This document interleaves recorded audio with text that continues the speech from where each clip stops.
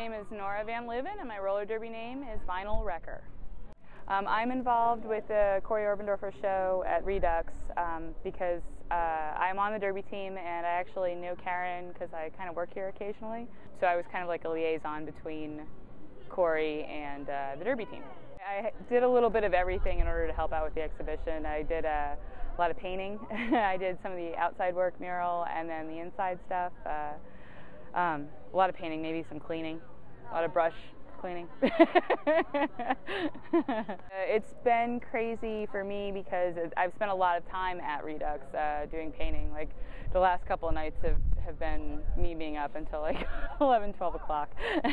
and some of the other girls have had the same experience. One of the girls on the team was here last night, I think, until about 4 o'clock in the morning.